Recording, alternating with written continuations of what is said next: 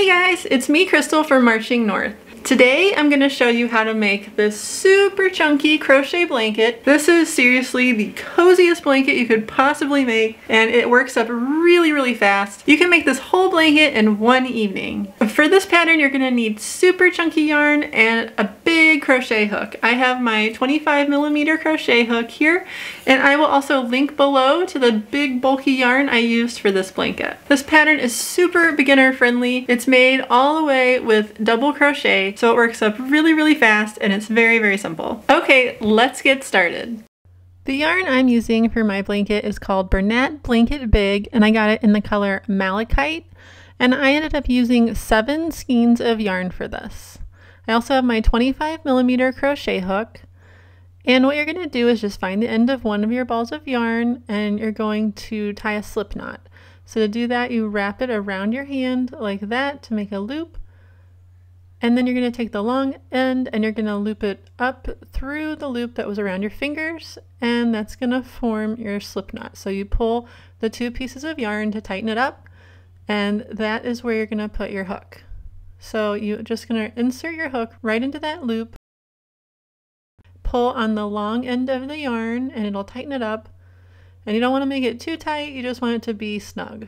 Now we're going to chain 33 times. So yarn over, and then you're going to pull it through the loop.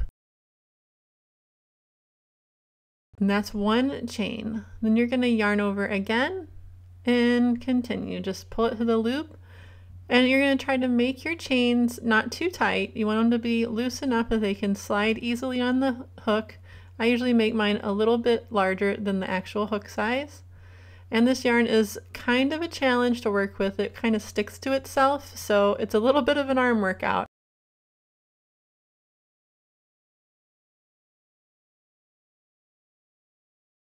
Now that we've made our 33 chains, we're going to turn it and we're going to work in our third chain from our hook. So we're going to work a double crochet into that third chain. Take your yarn, you're going to loop it over your hook to yarn over. Then you're going to insert your hook into that third chain, yarn over, pull the yarn through the loop, and now you'll have three loops on your hook.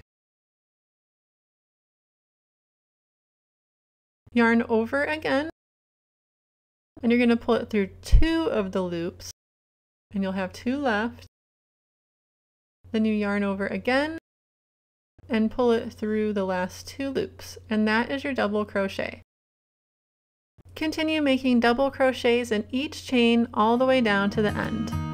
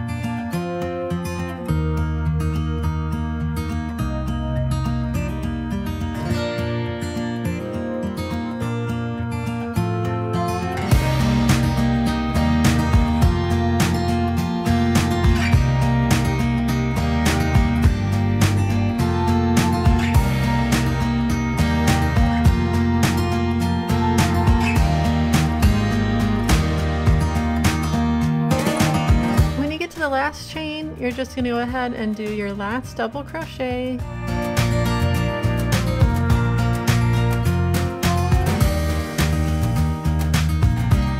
Now you're going to chain two, so one, and then yarn over and chain one more time.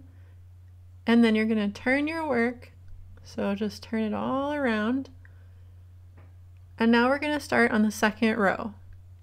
So for the first stitch of each row, we're going to double crochet into that same stitch where the chain is coming out of. So you yarn over and you're just going to insert it right into that stitch under both of the loops. Yarn over, pull it through, yarn over again, pull it through two, yarn over again, and pull it through the last two. And it's just a regular double crochet, and that's how each row will start. Then you're just going to continue double crocheting all the way back down the row until you get to the end where you'll chain two again, turn, and repeat. Before you reach the end of this row though, you'll probably run out of yarn, so I will show you what to do when that happens. Here my yarn tail is getting real short, so what I like to do is do part of a double crochet, I yarn over and I get my three loops on my hook, and then I grab my next ball of yarn and I just hold the end there next to the other short end like that. Then I yarn over with the new yarn and I complete my double crochet with the new yarn. Then I go ahead and do another stitch or two just to really secure everything in place. And then I go back and flip my work over Grab those two short tails and tie a knot in them. You want the knot to be snug but not so tight that it cinches your blanket up or anything. And then just leave the tails and we'll weave them in later.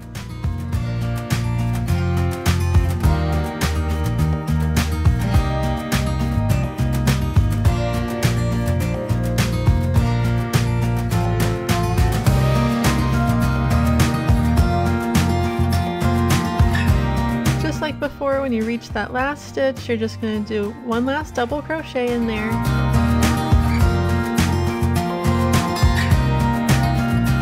Then you will chain two.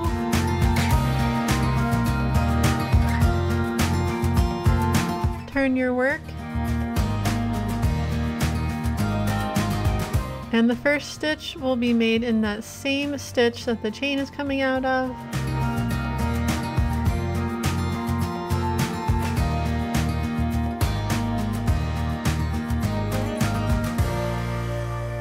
And then you just continue that going down the row and repeat that for the rest of the rows. And there are 12 rows altogether for this blanket.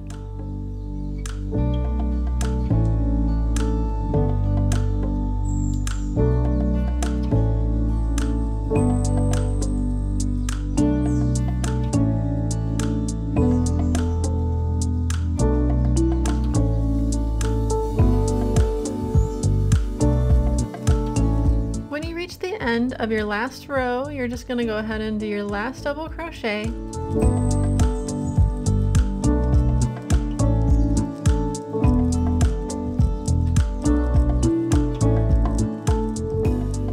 This is how much yarn I had left from my last skein of yarn, so I almost used it all up, but not quite.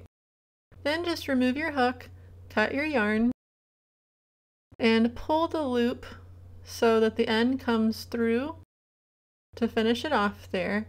And now we're going to tie a little knot here to secure it and weave in all of our ends.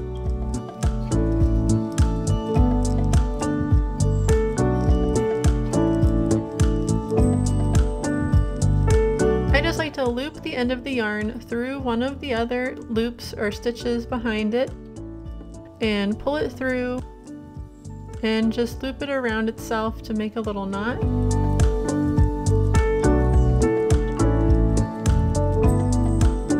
Then I just weave the end through a whole bunch of stitches, just kind of weaving around where it's not too noticeable.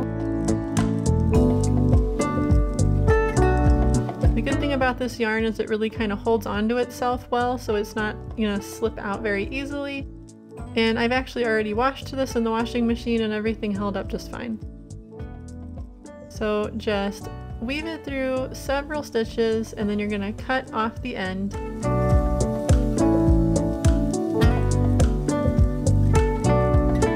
And then anywhere you tied a knot, you're to take one end and weave it in one direction.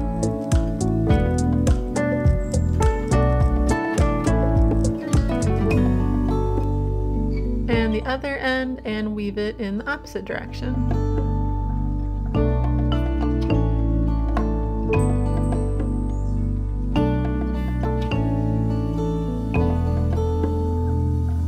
Off your ends and once you do all that, your blanket will be complete. I hope you enjoyed this tutorial and you made one of these cozy, awesome blankets. I just love this blanket. It's perfect for curling up for your morning coffee. If you enjoyed this tutorial, please leave a like, comment, and subscribe so you don't miss any of my future videos. Thanks for watching!